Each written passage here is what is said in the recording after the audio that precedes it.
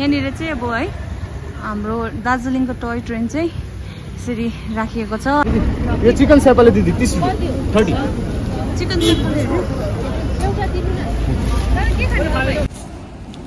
छ यहाँनिर चाहिँ अब चाहिँ रात पर्नु पर्नु आँटिसकेको छ।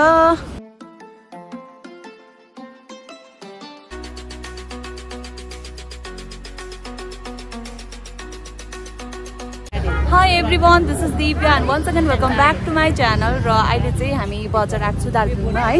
र दार्जिलिङको बजारमा भन्दा चाहिँ स्टेसनमा होर्लेको छौँ। र यो चाहिँ स्टेसन हो। पर्यो यो चाहिँ स्टेसन हो है? अलिकति स्टेसन घुमौँ भनेर चाहिँ हामी आएको। अहिले इभिनिङको टाइम हो। र अहिले चार साढे चार भइसकेको छ। पाँच बज्न आँटेको छ। र नाइटको पनि हामी चाहिँ अलिकति स्ट्रिट फुडहरूको चाहिँ अलिकति देखाउँ भनेर चाहिँ आएको है?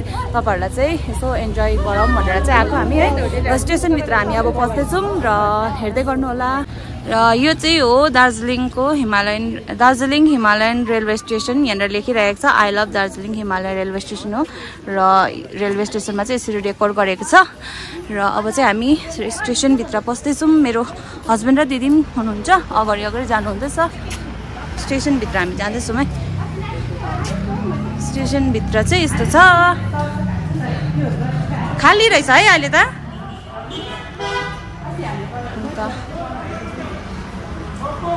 सानो स्टेसन छ तर एकदमै राम्रो छ है सफा छ भित्र। यहाँनिर सानो स्टोरहरू छ। यहाँनिर चाहिँ सायद उयो टिकटहरू गर्ने होला है रिजर्भेसन गर्ने होला। कति कति रहेछ? यसो हेर्दा हुँदैन यहाँनिर? ऊ पर होला त। ऊ पर बोर्डमा लेखेको रहेछ आउन। हेलो। र अहिले चाहिँ स्टेसनभित्र छौँ। हामी चाहिँ राम्रो देखेको है भित्र त। मजाको भिडियो आएको।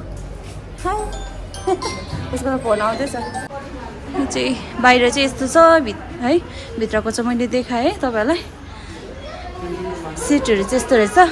हाम्रो पनि एकदमै चढ्नु चाहिँ लाग्यो हामी अहिलेसम्म चाहिँ चढेको छैन यो चाहिँ टोय ट्रेन हो है दार्जिलिङको टोय ट्रेन भन्छ यसलाई चाहिँ।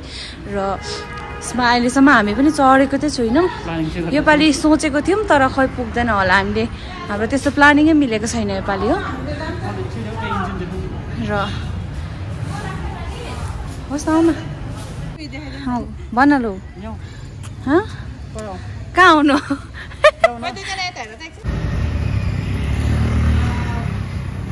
यहाँनिर चाहिँ अब है हाम्रो दार्जिलिङको टोय ट्रेन चाहिँ यसरी राखिएको छ है? यहाँनिर यसरी राखिएको छ कि इन्जिनहरू? यो चाहिँ सबै कोइलाले चल्नेहरू हो है? यहाँनिर यसरी राखिएको छ। नजिकमा त अब नजाउँ होला त्यहाँनिर है? अहिले मार्छ फेरि। अब हाम्रो एक्चुअलमा चाहिँ दार्जिलिङमा चाहिँ टोय ट्रेन चाहिँ एकदमै फेमस छ है? किनभने टुरिस्टहरूले चाहिँ यसमा चढ्नु एकदमै मन पराउँछ है? र हामीलाई पनि चढ्नु त मन लागेको थियो तर अब त्यस्तै हो टाइमिङले चाहिँ अलिकति साथ दिएन। छ यहाँनिर चाहिँ। अब चाहिँ रात पर्नु पर्नु आँटिसकेको छ। मैले मेरो बुढालाई चाहिँ पर खेदाएर राखिरहेको छु आउ जाउँ। जाउँ। अब हामी गाडी चढ्नु पर्दैन है।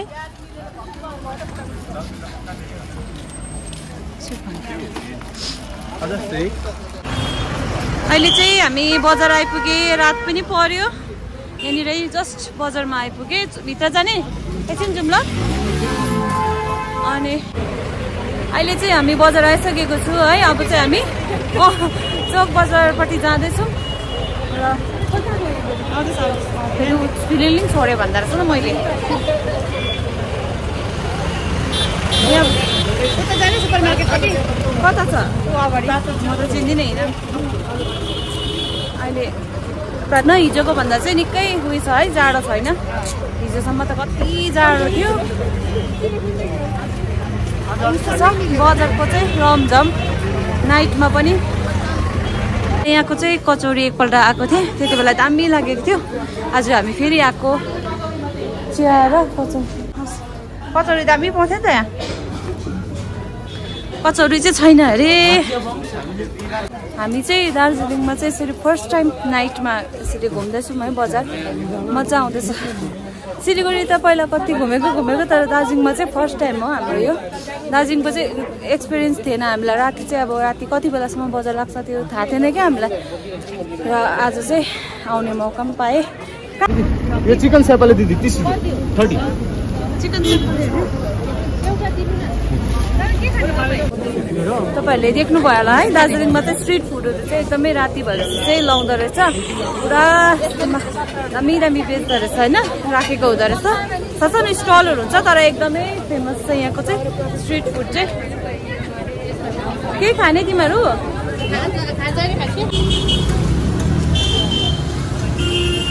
उसले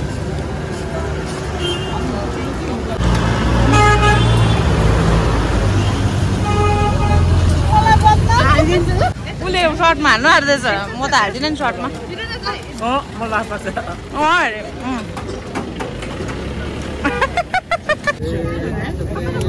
अरे हम ध्यान देते